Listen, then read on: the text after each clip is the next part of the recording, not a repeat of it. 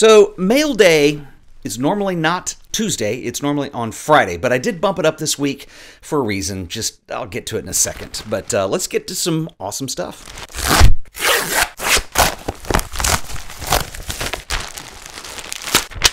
First up, Two books. These come to us from Stefano Cerio, who writes Dear Ted, I like your channel a lot. I find that it's a great mix between technique and culture. That is exactly what we need to improve our profession. I don't know if you know the fine art field in Italy. These are my latest two books. Chinese Fun is the last book that I did in film with my Ebony 4x5, and Night Games is my first in digital with my Alpa STC and Phase 1 100.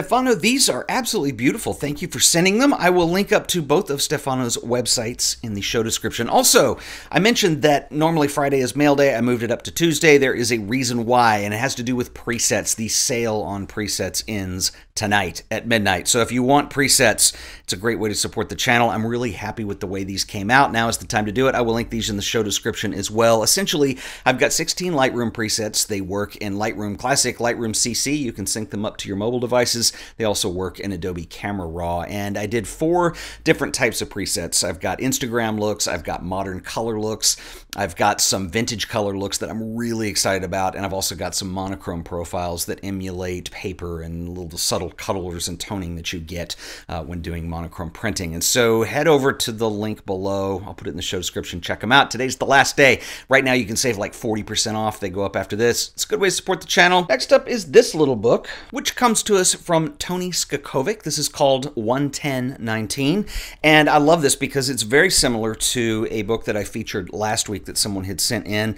We're making the best of a situation and turning it into a creative opportunity to make something really beautiful. Let me write what the intro says in here. It says, Being stuck on an airplane for three hours is hardly a fun experience.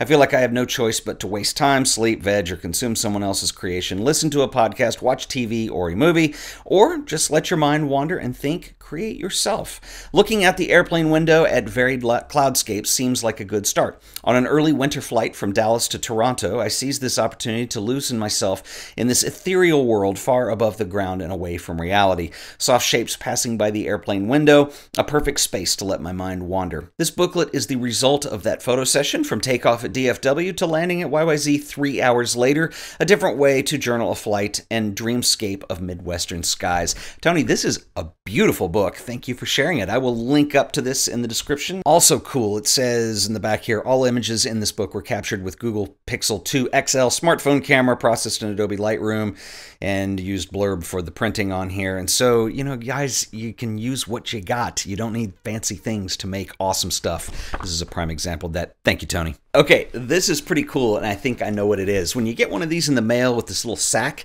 um, I have talked about using Adorama Pix to do printing. I actually have a discount code if you guys want to get 20% off your order. And I know what this is. This is a book that someone had made. This is from Ed Ruttledge. And Ed, this is awesome. Thanks for a great workshop. There he is on the back. Ed is a friend of mine. He was at the workshop that I did with Hugh Brownstone last month. And this, I knew he was going to do it, is a book chronicling that experience.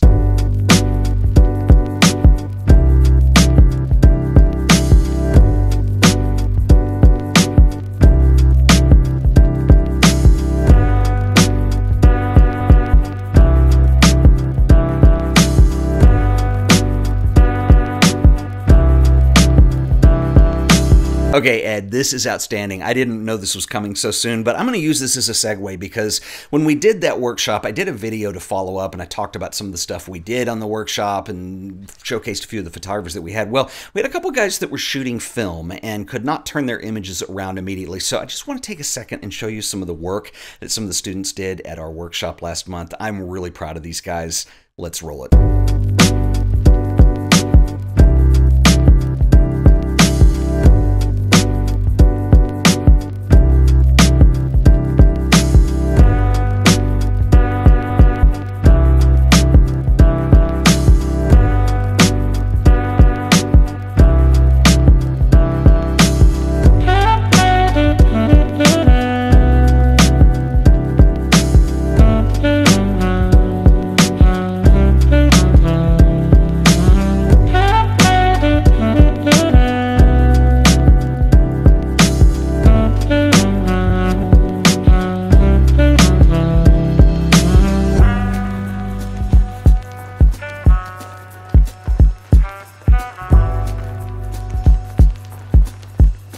You know, this stuff is super special to me.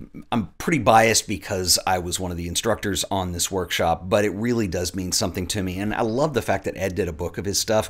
You know, I think that photography, and we talked a lot about this on the workshop, there are many purposes and reasons that we shoot photographs and why we make art. And a lot of it are creative reasons, a lot of them are creative reasons. There's things that we need to be able to express that come from within. And then also there is just the documenting, and not only documenting what what the photographer sees at a certain time, but these images, in particular Ed's book, they document for me the experience that we had last month in New York City. And so it kind of has this, you know, several layers or dimensions that you see through on that level. There's there's creative exercises, there's photographic expression, and then finally there's just the documentation and something to remember the whole thing by. And so this is really cool. And you know, I know Ed feels this way too, but it, you know, being able to share your images online is a wonderful thing and one of the things that I think we get very spoiled to in the modern age because we have so much and we can use any of these resources to distribute our images and get them seen. We didn't have these pre internet. But there's something magical about going back and creating an object like this that's something that you can have to remember something by. And so this is really special to me. Ed, I, I, am not going to put it back in the little canvas pouch. This is going to sit out where I can see it and remember it by. So thanks for sending this. Much appreciated. Okay, this is pretty cool too. And I recognized this when I saw it through the plastic here. This comes from Aaron Chen. Hold on one second. Let's get this out of the plastic plastic here.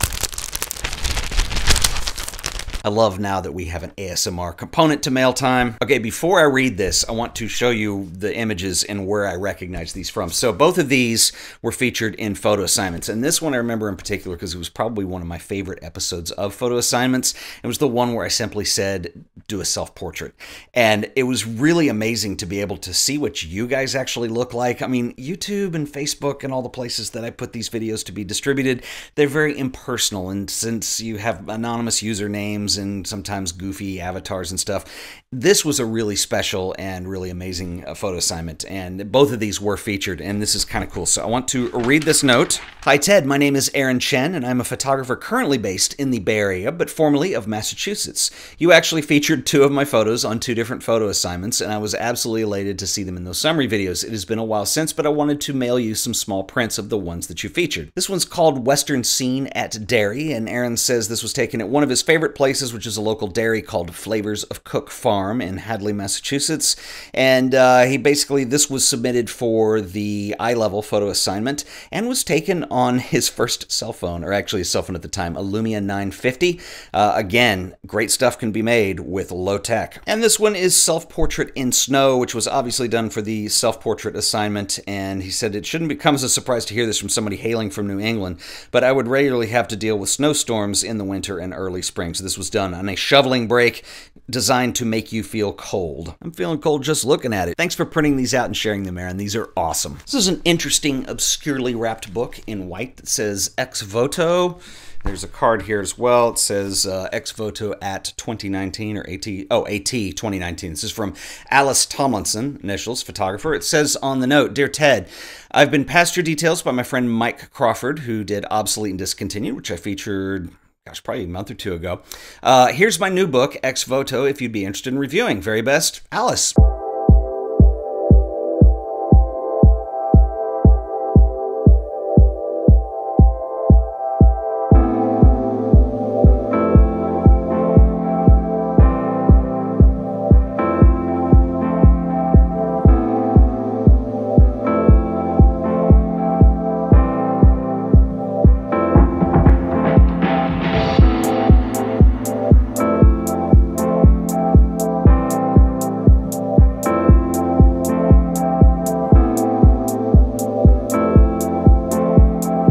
Beautiful work, Alys. Thank you for sharing. I will link up to this book in the show description. You guys don't forget presets. They go off sale at midnight tonight. So if you want them at like 40% off, now is your time to do so. So head over. I will link up in the show description. Until the next video, we'll see you guys then. Later.